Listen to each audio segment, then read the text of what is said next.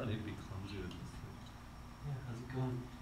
It's okay. I think there's this weird like glitch where at that certain rotations it like goes between a positive and a negative yeah. to the quaternion.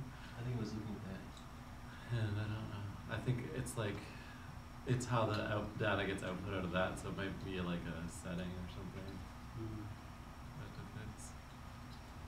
Look, that looks pretty good. that, that looks nice. That looks awesome. That looks great. There's no way you can animate something like that, right? Like the only way to do it is in real time. Pretty much, yeah. It's kind of the only like natural